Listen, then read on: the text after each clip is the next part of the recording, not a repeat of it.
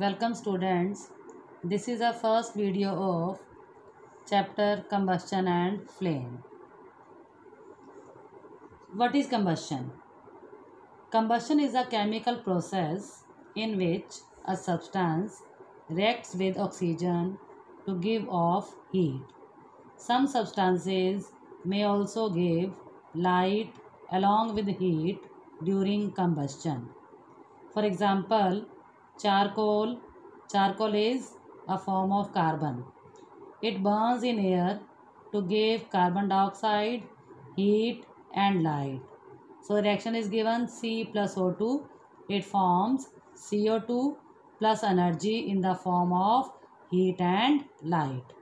Other example is methane gas burns in air forming carbon dioxide, water, heat and light. Then what is meant by combustible and non-combustible substances? Now combustible substances are those substances which burn easily in air to produce heat and light. For example, wood, paper, kerosene oil, etc. And non-combustible substances are those substances that do not undergo combustion in the presence of air means they do not burn in air. For example stone glass iron nails etc so in the picture examples of combustible substances and non-combustible substances are given. Combustible such as coal and wood and non-combustible such as sand and stones. Then why do we say that food is fuel for, for our body? When we eat food, it gets broken down into simpler substances which react with oxygen and generate energy or heat. Hence, food is referred to as fuel for our body.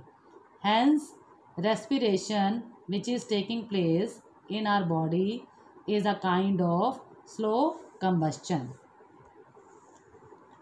Then what are the conditions required for combustion? So first of all, presence of a combustible substance.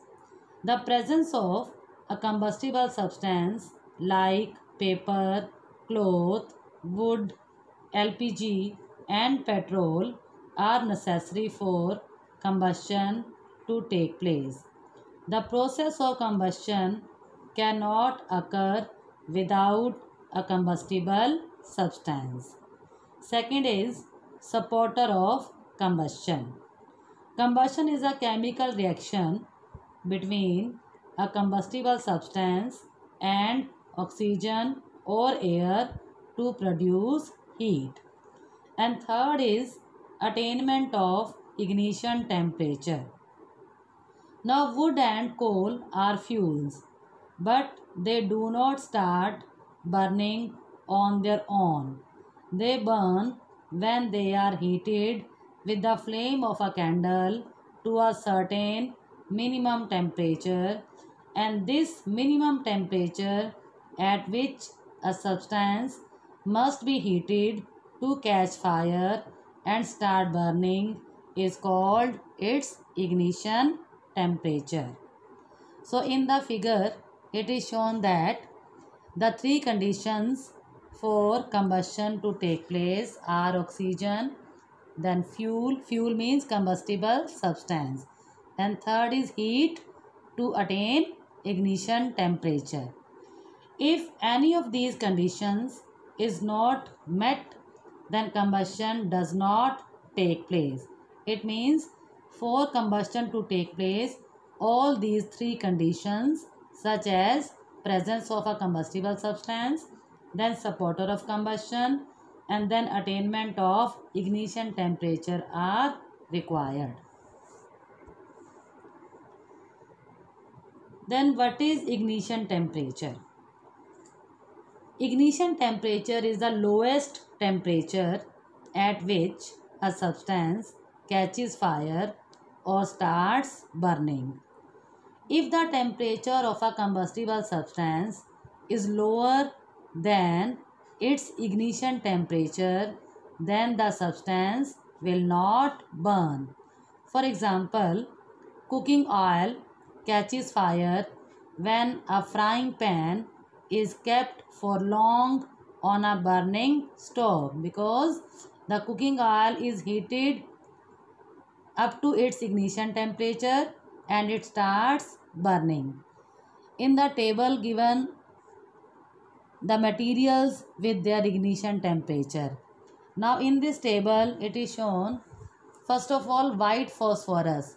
Now white phosphorus is a type of non-metal which is kept at room temperature and it catches fire on its own.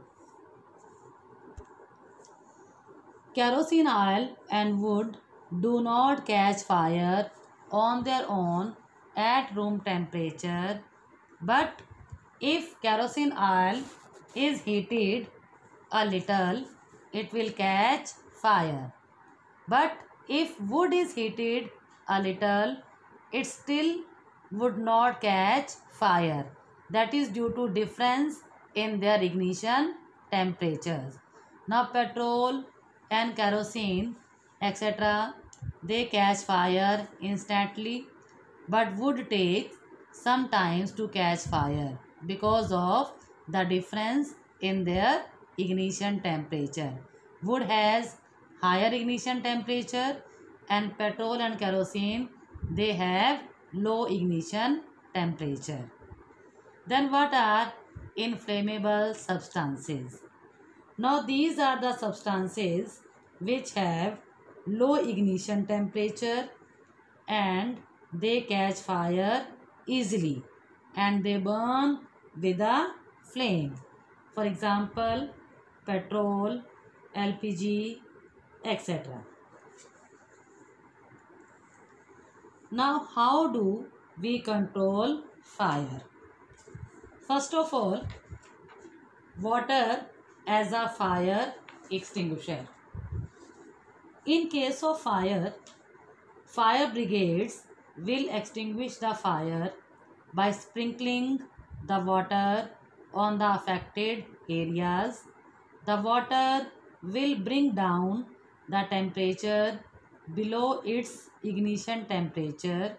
As a result, fire will get stop spreading. Water vapors also surround the combustible material helping in cutting off the supply of air. So the fire is extinguished. However, water as an extinguisher has some limitations. First of all, water cannot be used to extinguish fires in electric wiring caused by an electrical short circuit this is because water is a good conductor. When it is poured over burning electrical wires or appliance, it causes electric shocks to the people who are involved in the firefighting operations. So this electric shock can even kill the people. And second is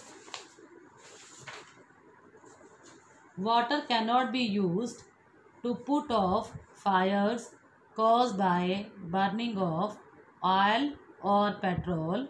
This is because water being heavier than oil settles down at the bottom and oil floats over this water and continues to burn. It also spreads the fire. Now water is a common fire extinguisher but the best fire extinguisher is carbon dioxide. So carbon dioxide is heavier than oxygen and it covers the burning material like a blanket and it cuts off the oxygen supply. and it also does not harm the electrical equipment. CO2 can be stored as a liquid in cylinders at high pressure.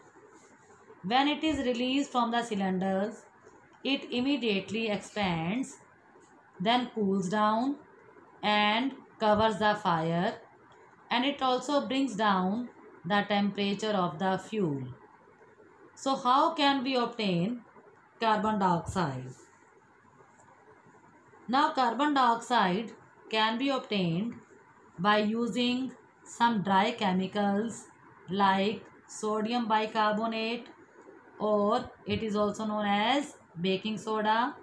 Second chemical is potassium carbonate. Now these chemicals they release carbon dioxide near the fire. The reaction is given NaHCO3. It is sodium bicarbonate or it is known as baking soda. When it is heated, it decomposes to form Na2CO3 which is sodium carbonate, then water H2O and carbon dioxide. Now this carbon dioxide will help in extinguishing the fire. Now in the picture it is shown the parts of a fire extinguisher. Now carbon dioxide liberated by the reaction of sulfuric acid with sodium bicarbonate solution comes out with a stream of liquid water at high pressure. The water puts off the fire by lowering the temperature of the combustible material below its ignition temperature and carbon dioxide cuts off the supply of air to the combustible substance. It means in the fire extinguisher sulfuric acid and sodium bicarbonate that is taken so as the fire is controlled. Thank you.